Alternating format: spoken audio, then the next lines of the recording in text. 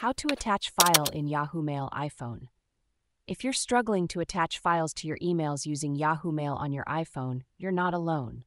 Let's break it down step by step so you can send those files with ease. First, make sure you have the Yahoo Mail app installed on your iPhone.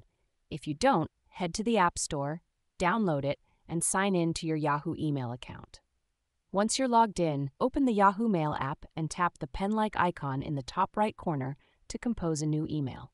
Enter the recipient's email address and add a subject if you need to. Now, to attach a file, look for the clip like icon at the bottom of the screen.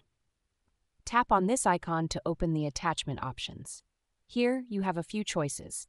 You can attach files from your gallery, which includes your iPhone photos, or you can attach files from your Files app. If you want to attach a photo or video, tap on the Gallery option.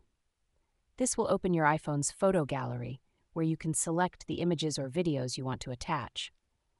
You can even switch between different albums to find the right files.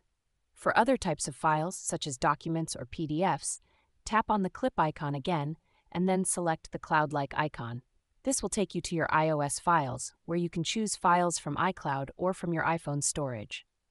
Once you've selected the file you want to attach, tap Open to add it to your email. You'll see the file attached at the bottom of your email. If everything looks good, just tap Done and then Send to send the email.